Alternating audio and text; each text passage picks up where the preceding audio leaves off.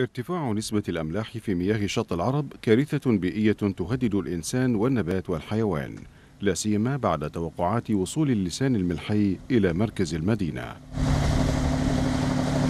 مدير ناحية السيبة أحمد هلال أكد أن قلة الإطلاقات المائية وإغلاق طهران للأنهر الداخلة إلى العراق هو السبب الرئيس في زيادة اللسان الملحي.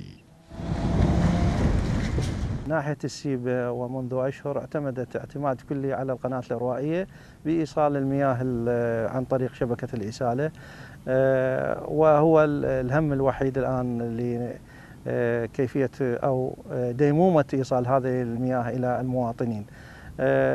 ارتفاع النسال الملحي طبعا سببه هو قلة الإطلاقات وغلق النهر الكارون من قبل الجانب الإيراني الملوحة اليوم يعني باتجاه مركز المحافظة ووصلت إلى قضاء أبو الخصيب زيادة اللسان الملحي أثر بشكل كبير على حياة المواطنين لاعتمادهم على الزراعة وتربية الحيوانات وصيد الأسماك.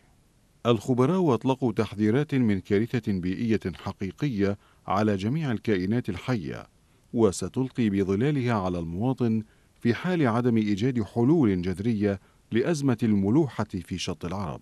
كثير من النباتات بصراحة في في في في جنوب شط العرب وفي وسط شط العرب النباتات المائية الغاطسة والطافية اختفت بشكل كامل. وهذا ما يؤثر على العديد من الاحياء الأخرى سواء كانت سواء كانت أسماك أو هائمات أو القشريات أو غيرها. وهذا بالتالي سوف يؤثر على حياة الإنسان. وكذلك يؤثر خارج الماء. خارج الماء أيضا نلاحظ مثلا الطيور وغيرها وغيرها هذا وكذلك على الحالة حالة الحالة البيئية الحالة البيئية. هم أيضا يؤثر هذه كلها تأثر لنا وبالتالي تأثر لنا على حياة الإنسان. فلاحو البصرة أكدوا تضرر أراضيهم ومحاصيلهم الزراعية بسبب مشكلة الملوحة التي تتزايد كل عام مع عدم إيجاد الحلول لها. الملوحة كل سنة تجينا. كل سنة تقريبا نفس الوقت. اللي معتاد عليه.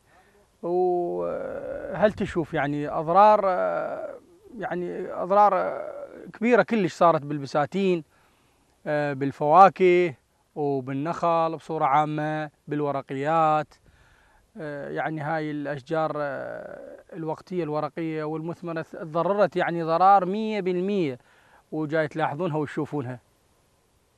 وإحنا ما جاي حقيقة يعني نشوف صورة حل للملوحة. يعني كل سنة تجينا هاي الفترة صار لها ثلاثة أشهر وهاي جاي يشوفون البستان تضرر يعني آه، مو بس بالأضرار بالأشجار وبالنخيل بالأرض يعني جاي يصير أضرار بالأرض لأنه الملوحة جاي تطفو على وجه بسبب الماء المالح. الحكومات في العراق وكما أهملت هذه الأزمة عام 2018 والتي تسببت بنزوح نحو 350 عائلة من القرى الواقعة جنوبي البصرة ما زالت تغض النظر عن أزمة صعود اللسان الملحي البحري كما هو الحال في العديد من القضايا الإنسانية الأخرى التي تمس حياة المواطن في البصرة والعراق بشكل عام.